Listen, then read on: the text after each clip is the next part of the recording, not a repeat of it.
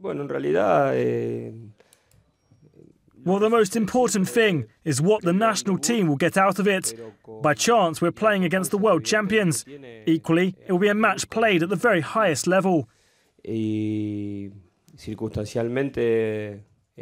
relation to the team, the most important thing is for me to speak with the players who haven't been playing recently, those who played on the weekend, and those who might have minor knocks.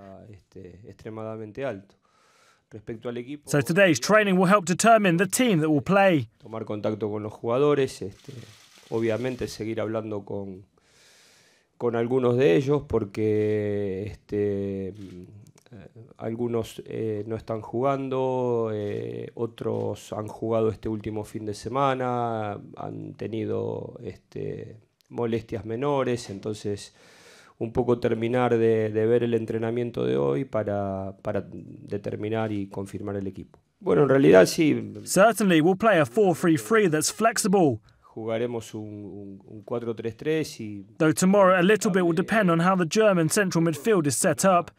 I recall during the World Cup they played some games with one holding midfielder and two ahead. The other games they had two players as the pivots and one ahead. So the central midfield functioned a little bit differently. Iniciador y dos interiores y otros partidos donde han jugado eh, dos pivot y una media punta. Entonces, en función cambiar un poquito el dibujo del medio centro en función a si tienen un solo 5 o si tienen un doble 5.